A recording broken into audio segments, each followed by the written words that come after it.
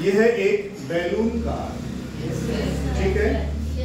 ये balloon car है और ये जो कार है, ये अपने आप इस बैलून की मदद से आगे बढ़ेगा। कैसे बढ़ेगा? ठीक है?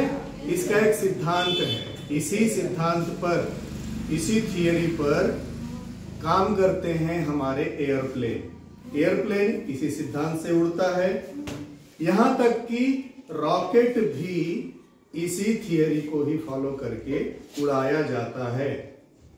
जब रॉकेट के इंजन से इतना थ्रस्ट पैदा होता है कि वो स्कैप वेलोसिटी को पार कर जाए तो पहुँचता है कहा? स्पेस में।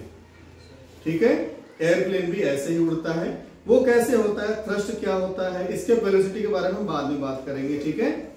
थ्रस्ट क्या होता है समझो? इसमें भरेंगे हम फ्यूल फ्यूल यानी ईंधन। इसका फ्यूल क्या होगा? हवा। ठीक है? इसमें हम भर लेते हैं हवा। ठीक है? और जैसे ही मैं इस नाव को छोड़ूँगा हवा तेज़ी से बाहर निकलेगी तो एक थ्रस्ट पैदा होगा थ्रस्ट। थ्रस्ट वर्ड बना है किससे? थ्रो से। थ्रो यानी फेंकना। तो एक फेंकाव पैदा होगा। तो फेंकाव पैदा होने की वजह से इसके अपोजिट डायरेक्शन में ये कार मूव करनी चाहिए। तो चलो देखते हैं। ये करता है कि नहीं करता है? ठीक है? पहले इसको फ्यूल भर लेते हैं ठीक है?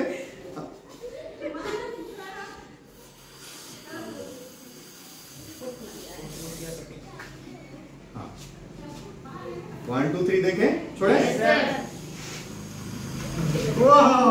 ये तो चल पड़ी। एक बार करें। तो ये पीछे से थ्रस्ट दे रहा है यानी धक्का दे रहा है। तो इसके ऑपोजिट डायरेक्शन में ये चल रही है। ठीक है?